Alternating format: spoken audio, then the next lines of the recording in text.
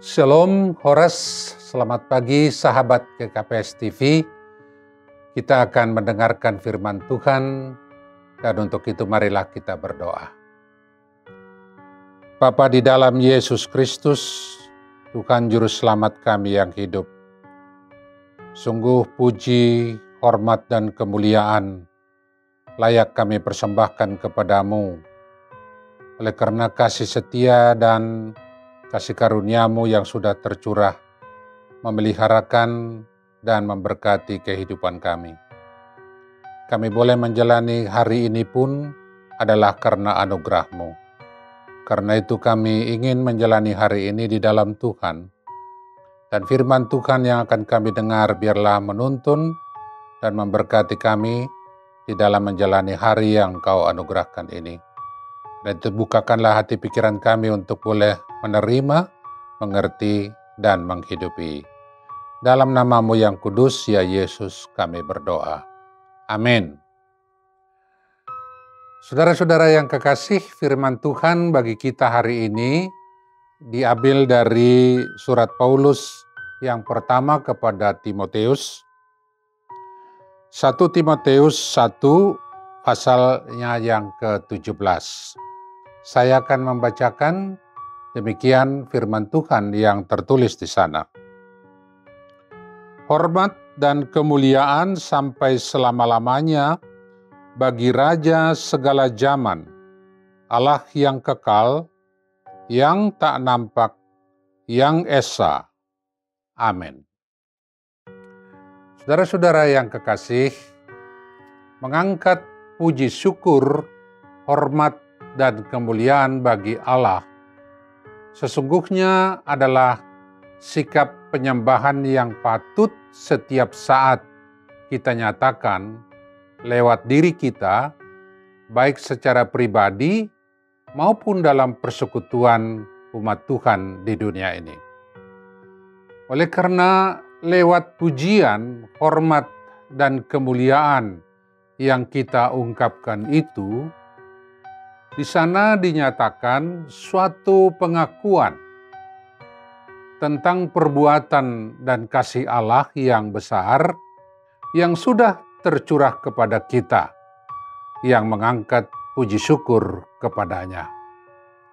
Demikianlah dari bacaan yang kita dengar bersama tadi pun, Paulus mengerti dan menyatakan ungkapan pujian, hormat, dan kemuliaan kepada Tuhan, oleh karena kasih karunia Tuhan yang dia sebut sebagai Raja segala zaman, Allah yang kekal itu telah mencurahkan kasih karunia-Nya kepadanya.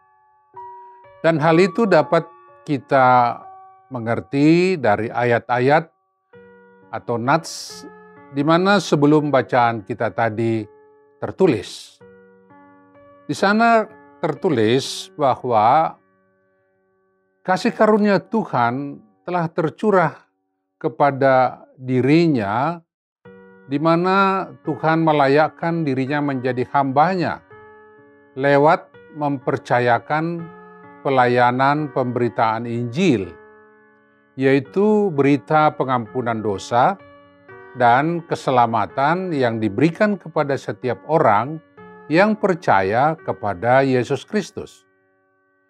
Dan Paulus menyadari kelayakan ini bukan berdasar dari kebaikan dirinya atau apa yang sudah dia lakukan melalui hidupnya kepada Tuhan.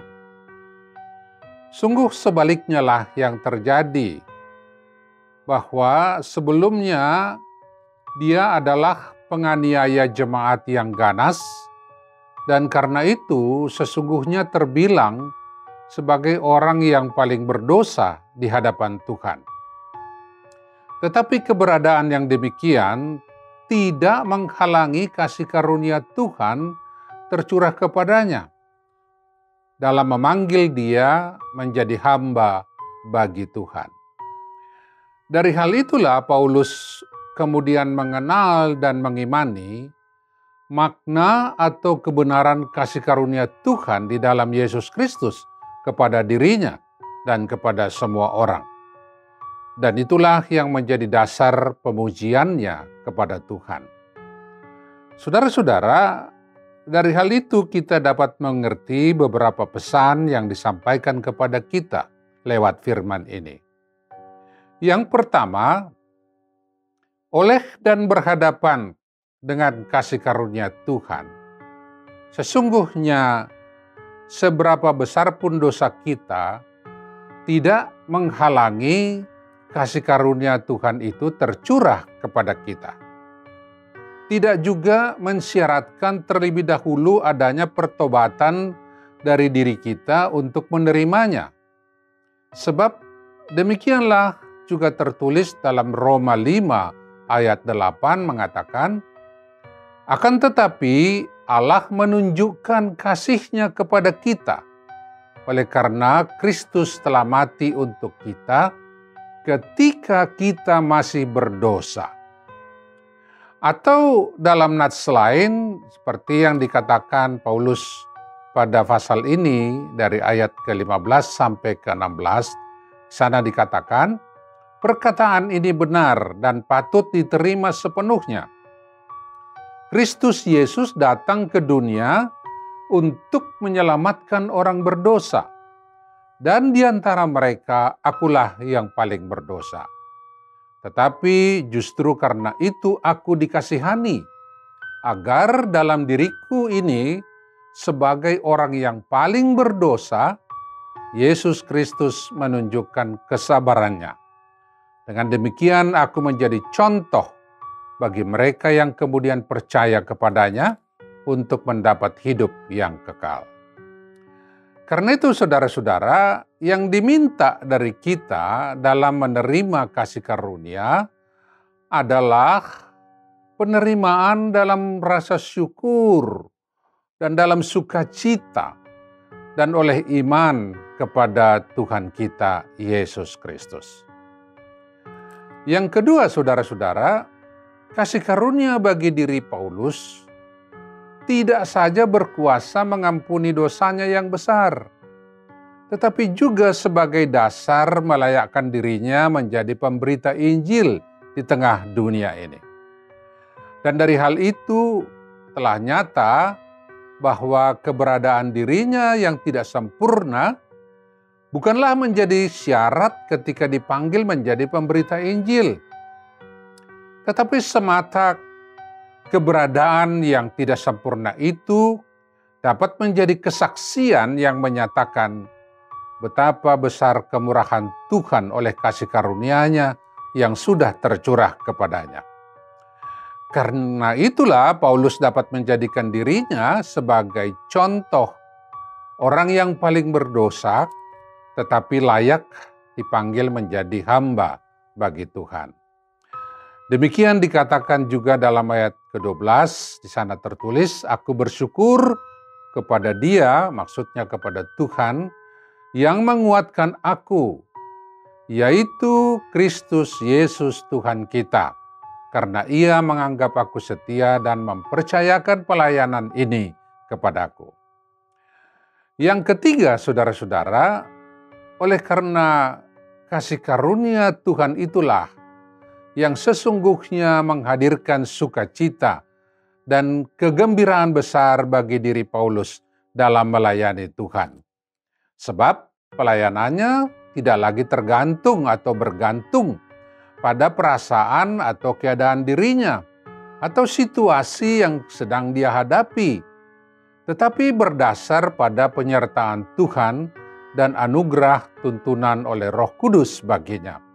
Dan itulah yang memberi kekuatan baginya ketika di dalam pelayanannya dia menghadapi tantangan yang besar, bahkan nyawa pun yang menjadi taruhannya. Saudara-saudara yang keempat, tentu juga buah yang nyata atas kasih karunia yang telah tercurah itu adalah hidup berkemenangan atas dosa. Dengan kata lain, diri Paulus telah berubah, mengalami transformasi dan juga mengalami pencerahan akan pengenalan yang benar terhadap Tuhan. Demikianlah ia meninggalkan perilaku lama dan menjalani hidup baru. Demikianlah saudara-saudara, pesan firman yang kita baca ini juga menyapa kita sama seperti diri Paulus. Kita semua yang percaya kepada Yesus Kristus sudah menerima kebesaran kasih karunia-Nya.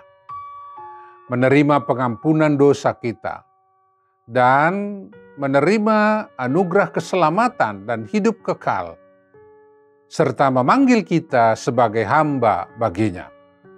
Dan karena itu, marilah setiap perkataan maupun perilaku dan pelayanan kita menyatakan penyembahan di dalam roh kepada Dia yang boleh menyaksikan segala puji, hormat, kemuliaan bagi namanya.